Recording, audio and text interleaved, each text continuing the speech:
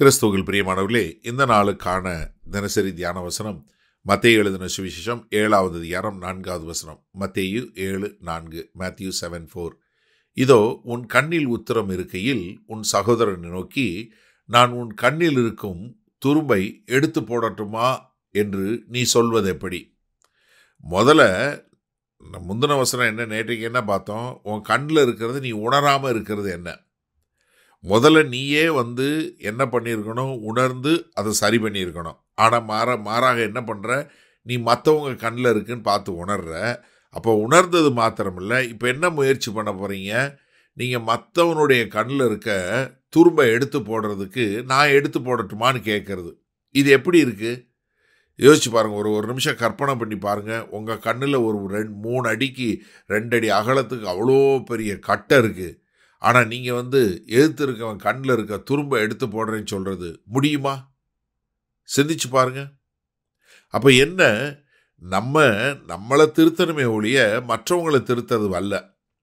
அப்போஸ் நான் என் பவுல் இது அழகாக மிக அழகாக சொல்லி கொடுக்குறார். ஒவ்வொரு திருச்சபைக்கு எழுதும்போதும் நான் யாருக்கும் எந்த பாரமாக இருந்ததில்லை. உங்கள் முன்னாடி உண்மையும் உத்தமமாக இருந்தேன். கர்த்தருடைய பார்வைக்கு முன்பாக உண்மையும் உத்தமமாக இருந்தேன்.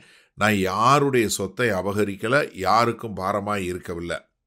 சொல்லிட்டு தன்னுடைய ஆவிக்குரிய மகனாகிய தீமோத்தைக்கு எழுதும்போது என்ன சொல்லி எழுதுகிறாரு நறுமை மகன் தீமோத்தியே நீ என்ன பண்ணு? உன்னுடைய வார்த்தையும் உன்னுடைய வாழ்க்கையும் பாஸ் பார்த்துக்கோ எப்படி? நீ பேசுகிற உன்னுடைய பிரசங்கமும் சரி உன்னுடைய வாழ்க்கையும் ஒத்து போவதா பாரு. ஏன்னா நீ வெறும் பிரசங்கம் பேசுகிற ஒரு நடிகனாக மட்டும் இருக்காத ஒரு மாயக்காரனை போல பிரசங்கம் பண்ணுறவனாக மாத்திரம் இருக்காத. நான் என்ன நீ பிரசங்கிக்கிறத கடைப்பிடிக்கிற ஒருத்தனாக இருக்கிறியா? அதுதான் சொல்கிறாரு ஏன்னா நீ என்ன பண்ணுறாரு நீ உன் வாழ்க்கையும் உன்னுடைய வார்த்தையும் கவனி. உன் வார்த்தை உன் வாழ்க்கை. அப்போ என்ன? நீ வந்து என்ன பிரசங்கம் பண்ணுறியோ அது உன் வாழ்க்கையில் இருக்கா? அப்படின்னு சொல்லிட்டு இதே போல உண்மையுள்ள மக்கள்கிட்ட நீ இந்த சுவிசேஷத்தை ஒப்புவி.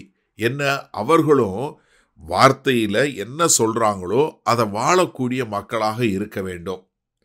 இன்றைக்கு இது பிரச்சனை இங்கே என்ன இருக்குது இன்றைக்கி அநேகர் வந்து மற்றவங்க கண்ணில் இருக்க தூசியை எடுக்க தான் வர்றாங்க. என்ன சொல்கிறாங்க நிறைய சபை போதவர்கள் என்ன? நீ பரலோகத்துக்கு சொத்து சேருங்கிறாங்க. ஆனால் அவங்க என்ன பண்ணுறாங்க தங்களுக்கு பெரிய மாட மாளிகை கட்டுறாங்க. பெரிய ஜபாலயத்தை கட்டுறாங்க. கோடிக்கணக்கில் காசு போட்டு செலவு பண்ணுறாங்க ஆனால் என்ன பிரசங்கம் வந்து என்ன பண்ணுறாங்க மேடையிலேருந்து? ஐயோ நீ பணம் வச்சுருந்தேன்னா அங்கே பூச்சி அரிச்சிரும் துரு பிடிச்சிரும். நீ கர்த்தருக்கு தான் கொடுக்கணும் இது கர்த்தருக்கானது அப்படின்னு சொல்லி ஒரு பிரசங்கம் பண்ணுறாங்க என்ன பண்ணுறாங்க தெரியுதா? அவங்க கண்ணில் இருக்க பெரிய உத்தரத்தை விட்டுட்டு உங்கள் கண்ணில் இருக்க சின்ன தூசியை எடுத்து போடுறதுக்கு முயற்சி பண்ணுறாங்க புரிஞ்சுதா? சரி. இந்த நாளில் இந்த வசனத்தை நம்ம எப்படி எடுத்துக்கொள்வது? பரிசெயர்களும் சதுசெயர்களும் வேத பாரகர்களும் இதையத்தான் செஞ்சாங்க. என்ன பண்ணாங்க? தாங்கள் வாழ்ந்த வாழ்க்கை மிக மோசமான வாழ்க்கை. ஆனால் அவங்க என்ன பண்ணாங்க? மற்றவங்களுக்கு ஆலோசனை சொல்லக்கூடியவங்களாக இருந்தாங்க. இப்போ எப்படி இருக்குன்னா நீங்கள் வந்து கடன் பயங்கரமான கடனில் இருந்துட்டு கடனே இல்லாமல் வாழ்வது எப்படி? அப்படின்னு ஒரு கேம்ப்பு இல்லை ஒரு செமினார் போட்டு அதுக்கு அவங்கள காசு கொடுக்க சொல்கிற மாதிரி. ஹலோ ஆமாம் இப்போ ஒரு சிலர் வந்து இப்போ சமீபத்தில் நான் அமெரிக்க தேசத்தில் ஒரு ஃப்ளையர் பார்த்தேன். அவங்க வந்து என்ன? ஒரு நீங்கள் வந்து எப்படி ஒரு வல்லமையான வெற்றிகரமான ஒரு திருமணத்தை நீங்கள் நடத்த முடியும்? அப்படின்னு ஒருத்தர் நடத்த போகிறாரு அவர் என்னென்னா ஏற்கனவே ரெண்டு முறை விவாகரத்தாகி மூணு தடவை கல்யாணம் ஆனவர். இது எப்படி? யோசிச்சு பாருங்க. அவர் எப்படி உங்களுக்கு சொல்லி கொடுக்க முடியும்? வேணா நான் எப்படி இந்த மாதிரி பண்ணேன்னு வேணால் சொல்ல முடியும் இல்லை நீங்கள் எப்படி பண்ணாதீங்கன்னு வேணால் சொல்ல முடியும். ஆனால் என்னென்னா இன்றைக்கு நிறைய பேர் வந்து இப்படிப்பட்ட காரியங்களை தான் செய்கிறாங்க தாங்கள் செய்யாத ஒன்றை போதிக்கிறது. எனக்கு கோபம் என்ன போல ஆனால் நீ கோவப்படாதுன்னு போதிக்கிறது. அப்போ என்ன? ஒரு பிரசங்கிக்கிறவங்களும் சரி நம்மளை போல் வாழுகிற கிறிஸ்தவர்களும் சரி நம்ம என்ன நாம் எல்லாரும் நம்ம என்ன பண்ணக்கூடியதாக இருக்கணும்? என் வாழ்க்கையில் நான் இப்படி இருந்தேன் இப்படி மாறினேன் இதை போல் வாழுங்க. அப்போ என்னென்னா அப்போ உடனே நீங்கள் கேட்கலாம் அண்ணே எல்லாருமே பூரணமாயிட முடியுமா? இல்லை நம்ம எல்லாம் பூரணமாகறவங்க இல்லை. ஆனால் நம்ம எல்லாருக்கிட்டே ஒரு பலவீனம் இருக்குது ஆனால் அதற்காக உங்களுடைய பலவீனத்தை நீங்கள் பிரசங்கம் பண்ணணும்னு அவசியம் இல்லை.